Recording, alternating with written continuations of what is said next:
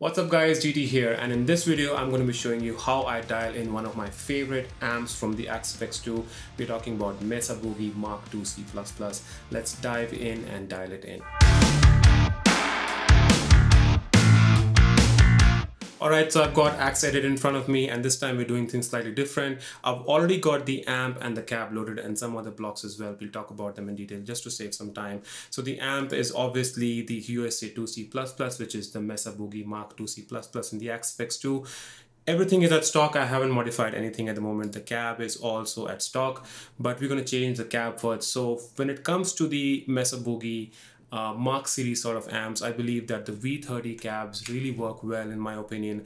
There are quite a few of them available in the Axe 2 and if you look around you'll have these ones, the SM57, the 4x12 Recto SM57, the 4x12 Recto N160, uh, F073, F074, these are two of my favorite cabs in here. These are also, I believe, uh, Celestion V30 sort of a setup for 4x12 rectifier cabs. Uh, a lot more in there. You've got the Petrucci mix as well, which is also a sort of a dark cab to use with this amp, so I'm going to skip that one. These two are also, I believe, the V30 sort of a setup, but in my opinion, these two work really well, so I'm going to use these two. But before I do that, I'm going to change the cabs to, uh, you know, high ultra res to a Studio Ultra Res so that I can use two cabs. I'm going to turn off the link and I'm going to go and select this one and I'm going to select this one as well. These are pre-mic'd in my opinion. They are 57 121 ranges of mic used to mic them and the second one is 906 to 421. So it's sort of a, you know, fits in very well in the Petrucci sort of realm. Uh, I think that's kind of miking setup he likes to use as well. So with that done, everything is stock. Let's hear how the guitar is sounding at the moment. I'm playing my Ernie Ball Music Man JP15. Everything's at 100%. The tone, the volume. I am on the bridge pickup. This is how it sounds.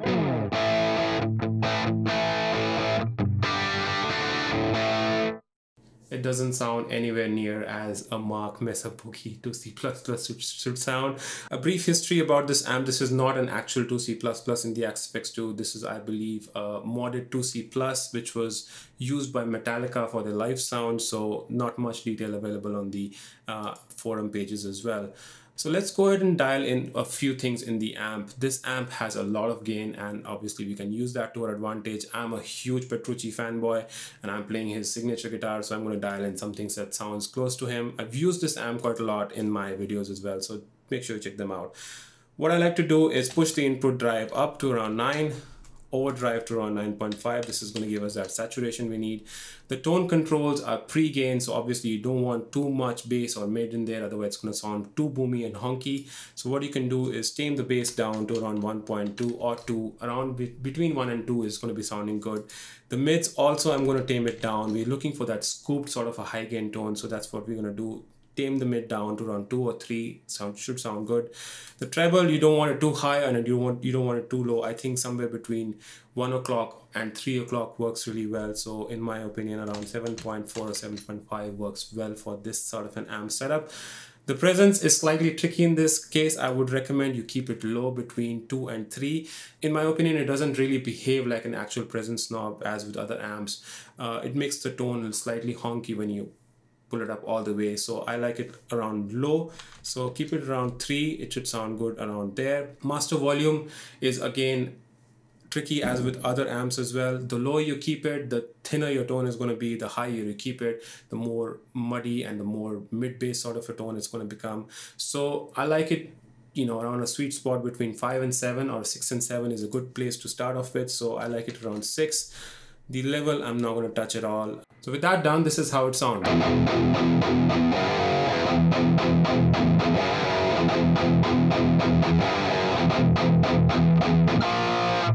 Again, not sounding very sort of scooped sort of a sound that we want. It's sounding heavy, but it doesn't doesn't have that character in my opinion and that's where the GEQ sort of makes sense but before we go to the GEQ I want to tweak the cabs a little bit what I want to do is cut off some of that top end I believe there's too much fizz that happens to come out of this amp if you tweak the GEQ and add in treble over there. So what I like to do is cut down the high cut here to around 4800s uh, hertz and the low cut I like to always push it up to around 80 or 100. I think around 90 works well in this case. Let's keep it around 90. Uh, not going to mic anything and now let's go ahead and tweak the GEQ of the amp. So the GEQ, if you've seen Petrucci's videos or if you ever dialed in sort of tone, you'll obviously remember the famous V curve that the Mesa Boogie Mark amps are famous for. So what we'll do here is tweak these knobs to dial in some more bass and treble, but obviously we're going to scoop out the mids, the 750 fader quite a lot. So these Faders are tricky, so dial them carefully according to your gear. So 40, uh, 80 hertz, I'm going to push up to around 4. That's going to add in some of the bass that we you know pulled out in the actual tone controls. The 240, I like it around 1.92. Again, adding some low mids. The 750, I'm going to really pull out quite a lot. So minus 7.68 is what sounds good in my gear. If you pull it down further, it's going to become more thinner. If you pull it up a little bit, it's going to add more mids and become a little more thicker. I like it around there. It's a good sweet spot.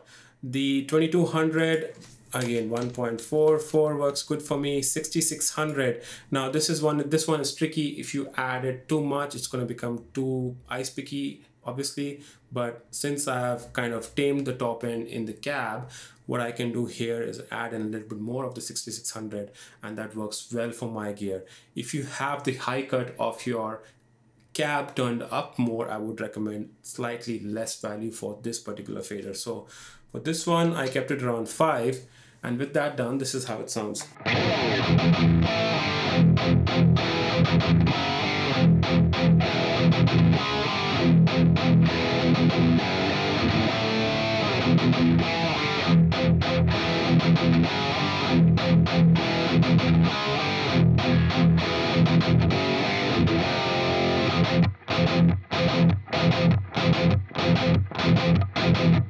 that is sweet and nice and that sounds like a real sort of a chunky and uh, scooped sort of a mid sound as well at the same time so it sounds really cool to my ears other things you can do, I think the Mesa Boogie amps are known for its clarity when it comes to playing sort of a uh, open chord sort of a structure.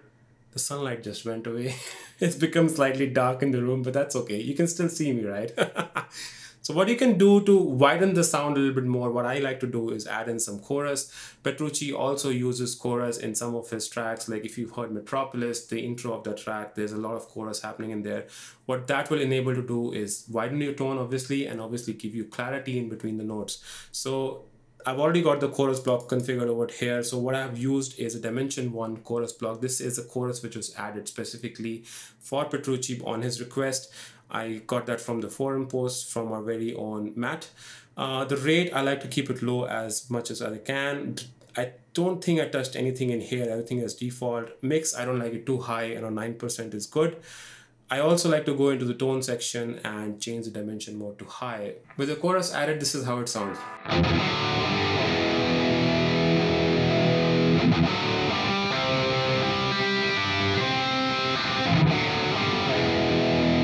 As you can hear that there's a lot of clarity in the notes when I'm playing even bar chords with full, you know, all the strings being plugged together. So.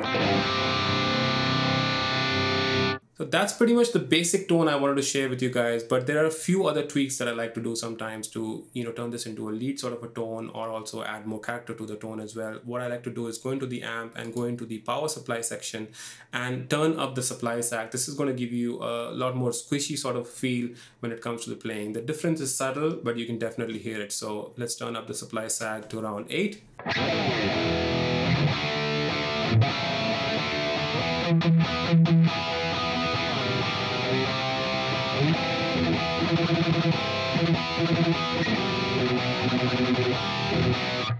That sounds really cool. So play with the supply sag. It definitely adds in more character to your uh, tone as well. I'm going to bring it back to where it was around there should be fine.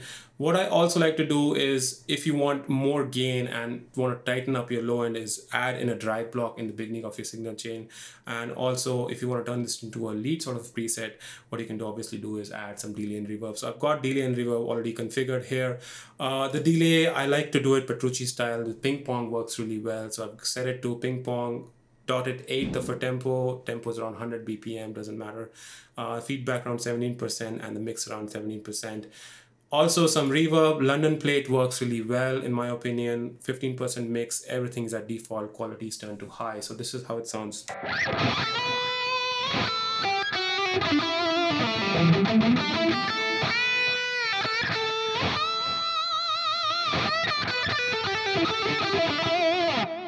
That sounds really cool, but if you want to add more drive, for example, and tighten up the tone and make it a little more fat, what you can do is obviously go into the amp section and first thing you can do is push up the 750 fader a little bit more. That's going to add a little bit more mids and make your tone a little more fatter and smoother. And also what you can do is add in a drive block. What I've done here is added a T808 OD drive pedal which is I believe a tube screamer. Uh, the drive is at zero just adding a bit of boost there. The tone is slightly less than five in this opinion. So hear this out how it sounds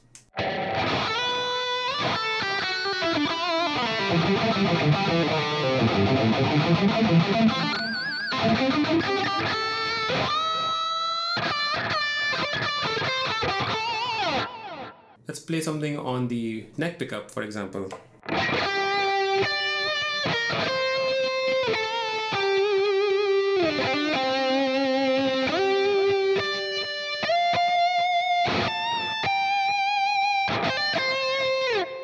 That sounds really sweet, smooth, and nice, just the way we all like it, isn't it?